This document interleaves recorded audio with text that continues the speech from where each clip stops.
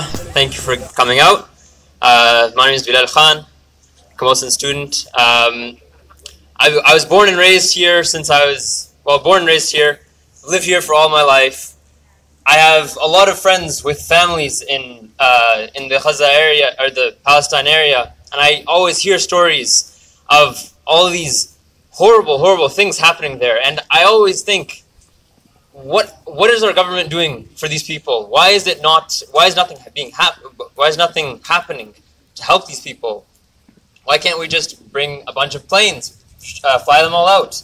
And then I read more, and it's just becoming more and more depressing. And I can't I can't help but wonder if this world is really like this, if this is how the world is going to turn out. And so I'm just here today. I'm, I'm sure we all have a very similar feeling. We don't we don't know how to express ourselves because there's almost no words to to there's almost no words to uh, explain how this feels to know that so many people have been going without homes, without food, without shelter, without water for so long. And this this isn't as if it's just been in, in my lifetime or many of your lifetimes. It's been more it's been more than 70 years has, since this has been going on.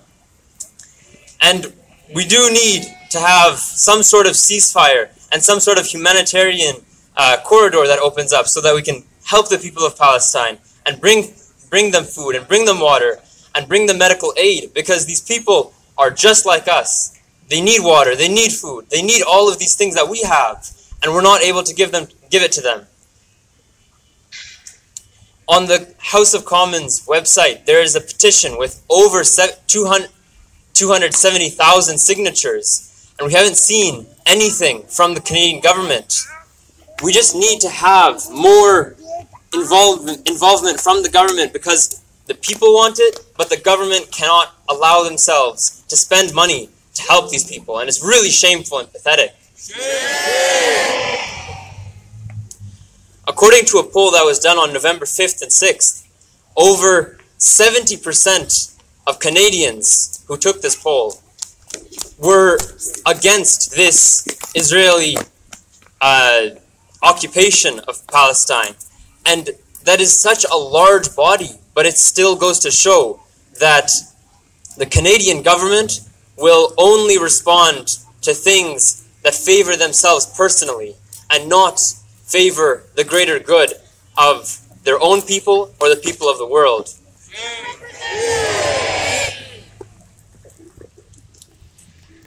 I'm here today, and I'm, I'm sure most of you are also here today, to tell the Canadian government that they need to step forward and they need to do something about the thousands and thousands of children dying.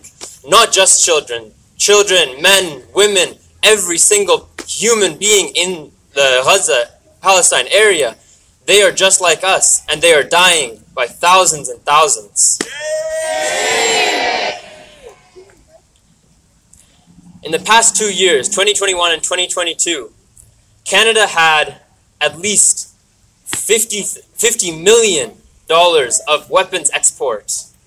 And I can't even begin to imagine how much of that is being used in the bombing and gunning down of Palestinian people.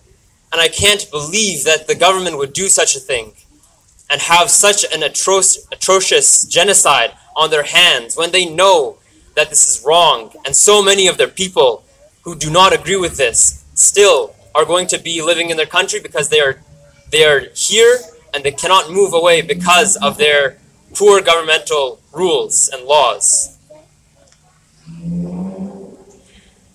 We have to use our collective voice to tell the government they have to do something new. They have to they have to support the Palestinian people. They have to give them food. They have to give them water. They have to find some way they have to find some way of bringing people away out of that uh, atrocious atrocious genocide that is happening and they have to help these people in need and it can't be that they're blindly paying the aggressors and they're turning a blind eye when the people who are supporting or who, the, the people who are living in their country do not want them to support these aggressors the aggressors need to have need to be stopped and the the people who are being victimized need to the people who are who the, the victims need to be saved.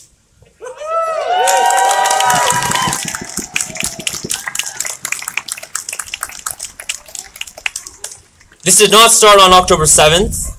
This did not start 20 years ago. This, this did not start 50 years ago. And we don't know when this will end. We can only hope and pray that with our efforts, we can bring a stop to this as soon as we can. Thank you for coming out.